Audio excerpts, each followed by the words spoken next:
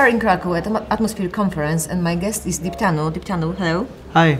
Could you please introduce yourself to someone who may not know you yet? Cool. Uh, so I, uh, I I'm a senior engineer at a company called uh, HashiCorp. Uh, it's uh, based out in San Francisco, and uh, I work on large-scale distributed systems. And uh, I have been working on a project called Nomad for the last uh, seven or eight months. Uh, it's a distributed cluster scheduler. And uh, before HashiCorp, I was a senior software engineer at Netflix, and uh, and I also played the role of uh, a site reliability engineer there. Uh, I've been working with distributed uh, schedulers for the last four or five years. Uh, been working on Apache Mesos before this, but now I'm a core committer to this to the Nomad project. And I believe uh, Nomad project was part of your presentation here Yeah. yesterday. What have you been speaking about? So I talked about uh, why uh, schedulers make sense in the new world of uh, of service-oriented architecture and microservices, and uh, how Nomad can help uh, people run operations uh, when they're scaling up, when they're running microservices at scale, and uh, what are the things that uh, you know people and operators should consider before choosing a particular scheduler. So that was my talk about yesterday. Uh, you are strongly into DevOps, you know the trends, and you visit a lot of conferences.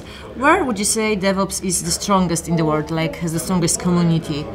So I think it's it's super interesting. I mean, I think Dev- DevOps is in a place where I think we are past the phase in the DevOps in the si- in the life cycle where uh, people were still considering whether or not to use DevOps. I think we are certainly at a place where DevOps is considered to be essential and integral part of how uh, people run uh, software teams and companies. And uh, I think in the US, especially in the West Coast, like DevOps is like the new normal. Uh, we are pa- actually we are past the new normal. Like everyone, it, no one even talks about doing DevOps. Like it's such so ingrained that it's the So normal. natural, yeah. It's the normal, and uh, I think in in in the UK, like I have been, I worked in the UK before I moved to the US. Uh, DevOps is picking up really well in the UK too. Um, and I've been uh, going to conferences and speaking at conferences in Europe, West Europe. Uh, I, I feel like DevOps is picking up there too. Uh, but I would definitely say like West Coast is where like uh, It's the most. it's uh, it's uh, it's the home. it's the heart. yeah, it's the heart. Yeah.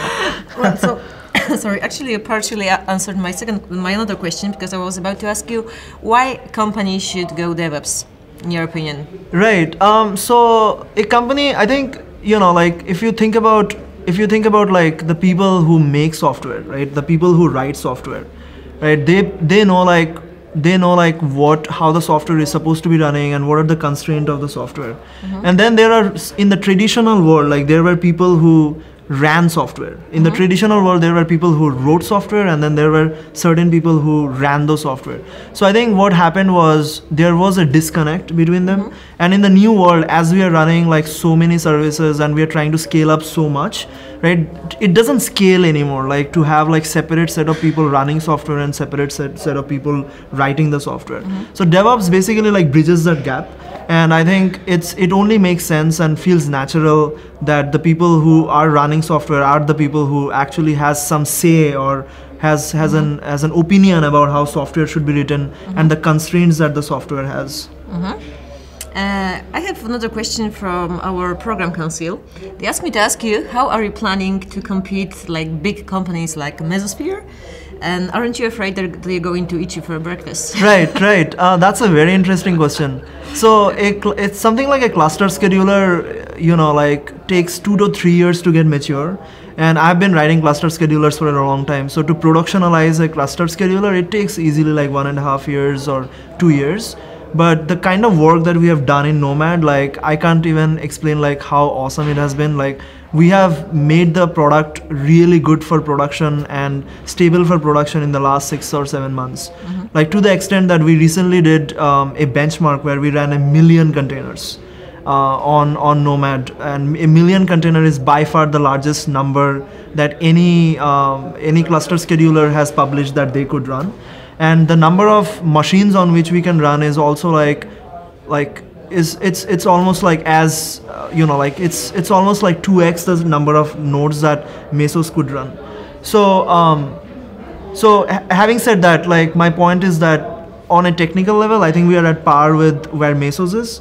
Kubernetes, the, the benchmarks that Kubernetes uh, has has published, like comes second to Mesos. So I think I'm not too worried about like competing with Mesos and Kubernetes.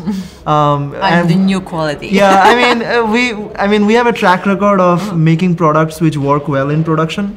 Um, you know like we are a very engineering centric company.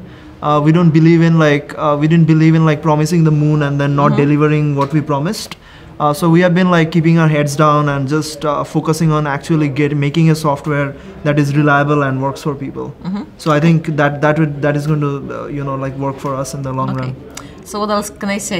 Good luck with your project, and thank you for this for this conversation. Thanks. Thank you. Diptanu was our guest. Thank you.